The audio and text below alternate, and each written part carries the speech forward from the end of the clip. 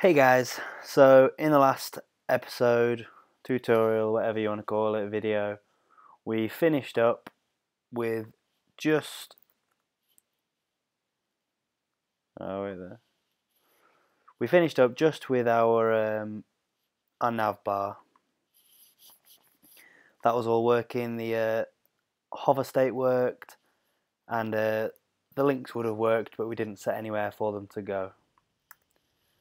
So if we just have a look at that. There it is. So we've got our nav bar with the uh, the hover states there, uh, links, everything. Nice and simple. And basically, we're going to develop this further now. We're going to um, make it into a proper nav bar that people would use. And we're also going to add this logo, which is just a text, a little text thing. And we're going to add this banner as well, which uh, you see on pretty much every website ever. You see it with a header, it's got like a little image or some text or services that you offer, anything like that. Uh, these links all still work, and uh, yeah, so let's get started. This is where we finished up last week, or last session, whatever you want to call it. Uh, this is our current document, and if we have a look,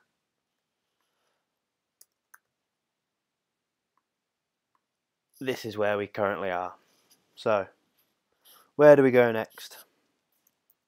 Well, if we open a new window with what we want to achieve, which is this. So let's start by editing the uh, the nav bar. So we want it to be uh, white to start with, and we want all the text to be black. So that's all in our CSS then. So the background color of the nav wants to be FFFFFF. The text wants to be black, which is um, six zeros.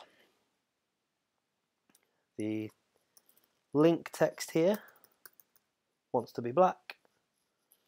And I think that's it. So let's have a look. There we go. So we've still got the hover. It's white now. Um, and the text is all black. So that's good. Uh, if we have a look at this, the text is quite a bit smaller, just so it's a bit neater. So if we quickly change that, so it's this li, we need to add in a font size.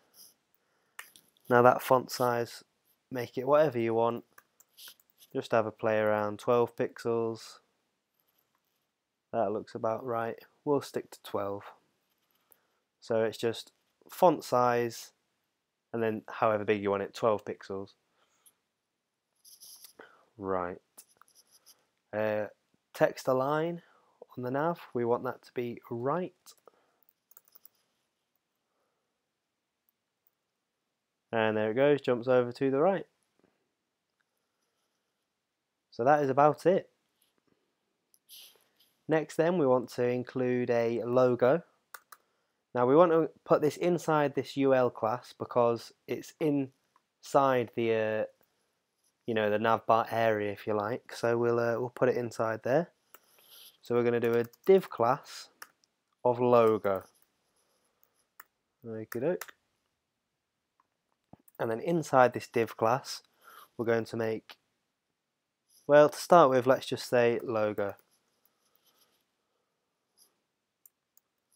There we go, there's the text.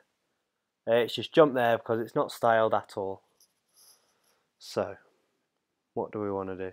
Oh, don't want to open iTunes. Close it. So then, our div class is called logo. So let's start a new one down here.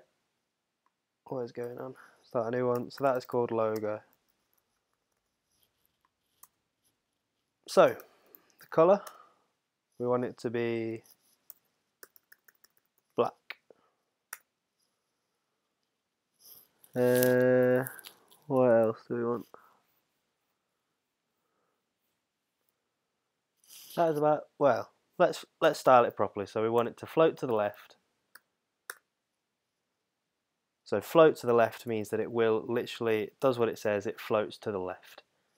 And now because this text is floated to the right, this text can be on the same line because it's floated to the left. So let's stick a little bit of a, a padding on there. So we'll give it a padding left of 20 pixels.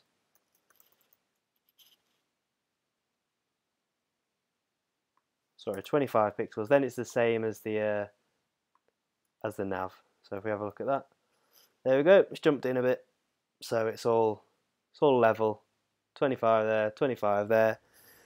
It's all level, which is good. It's what we want. Uh, the next thing, uh, let's change the font size, just because it's sort of a logo. It's supposed to be a bit more definitive, and we'll give it a font weight as well of bold. So if we have a look, it's just making it a bit more, bit more profound, a bit more obvious. Uh, you can do whatever you want, change the font family, all that sort of thing, but we don't need to, so we'll just leave that for now. Um, okay, so let's do what we did with the nav then. Let's make it into a link, because every website, you can click on it, and that will allow you to go back to the home page more often than not. So we'll just do that. That's an iron. Okay, so there's a link. And as you know, it'll go into a link, so we need to do a little bit more CSS just to get rid of that. Which is um, dot logo, not dot log, logo, any A's inside the logo, we'll have a text decoration of none and a color of black. Hey, how simple was that? So now it looks exactly the same, but it's actually a link now. Which is what we wanted. So, next stage is the, uh, the, the little banner that we saw. If we have a look here, this little banner.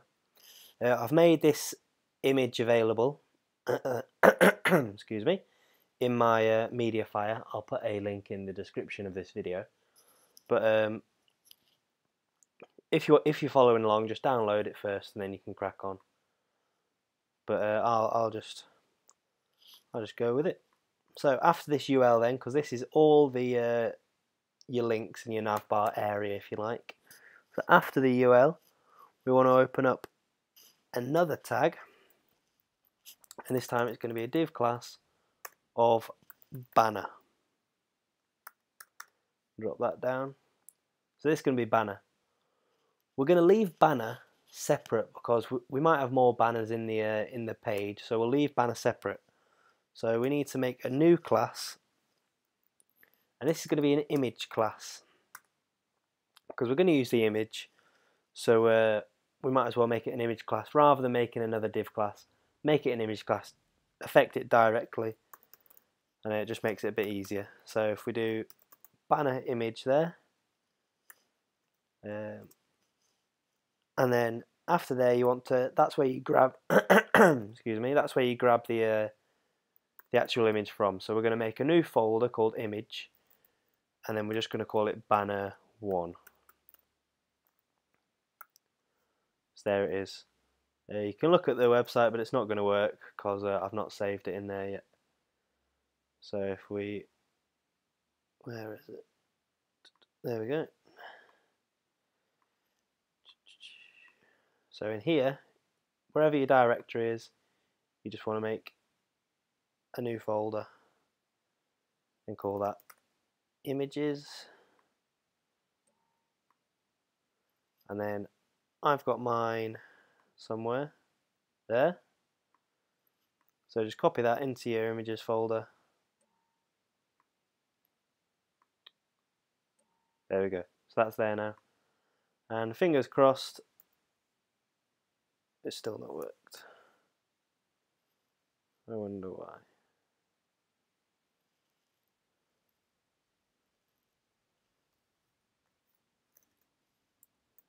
Banner one and it is called banner 1.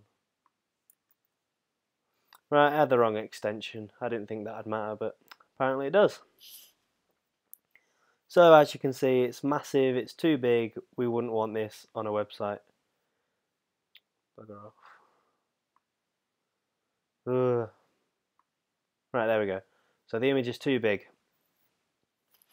So let's sort that out.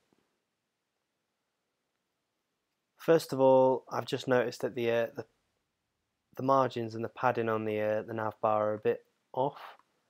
So let's just take that down to zero. Save that. There we go. That's got it right. So all I did was take the padding off of the bottom. So it's top left, bottom right. So just take it off the bottom, change that to zero and we're fine there now. So we've made uh, a few new classes and that's what we're going to style now. So after that logo dot .a what you're going to want to do is a, a new one called dot banner. Open and close that. So in the dot banner all we're going to want is width which we want to be 100% because we want it to be 100% of the browser window. So all the way across the window it will be. And we're going to display that as a block. And that's it, banner is done. So if we have a look, not a lot's changed. Basically not a lot's changed because we've changed the, uh, the banner rather than this image class. We've changed this banner class. So uh, the banner class has changed, but because the image is unstyled inside of there, it's not changed. So the next one is banner and then banner image. I think that's what we called it. Yeah, banner image. So now we're going to style the banner image. So we want to give that exactly the same things, 100% width, and display it as a block. Now if we have a look, there we go. That's dropped it down. So it's a nice little banner now. So if we just look across, it's almost identical. It's a little bit different size. But other than that, it's exactly the same.